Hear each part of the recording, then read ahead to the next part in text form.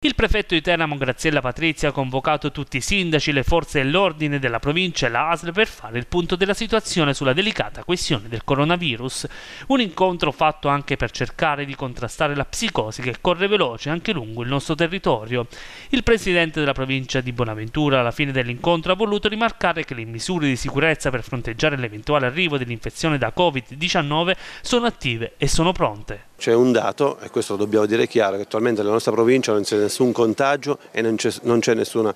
pandemia. Ecco, bisogna stare calmi, bisogna stare con qualche accorgimento, ma dobbiamo continuare a vivere. Ecco, noi non dobbiamo vivere ecco, nel panico perché attualmente la situazione è sotto controllo e dimostra che la nostra sanità pubblica funziona, forse ecco, meglio delle altre nazioni. Ecco, io l'ho detto, attualmente dobbiamo solamente aspettare che non è un problema di un comune della provincia di Teramo o della provincia di Teramo,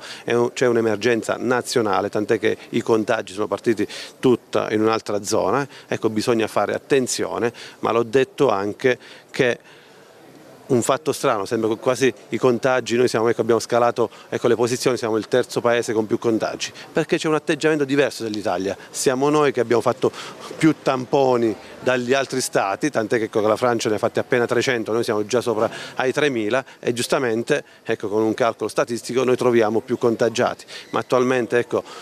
la situazione è sotto controllo e perciò lo dico qui, lo dico eh, con i miei colleghi sindaci, che non c'è nessun motivo di chiusura della scuola. Ecco, noi dobbiamo solamente aspettare quando la direzione sanitaria regionale e provinciale ci dice che c'è un'emergenza ecco, sanitaria o epidemiologica, noi dobbiamo attivare tutte le misure del caso, che sono anche quelle di fare ordinanze. Okay, perciò attualmente dobbiamo mantenere la calma e dobbiamo continuare ad andare avanti, perché sennò qui saremo noi ad uccidere le nostre comunità.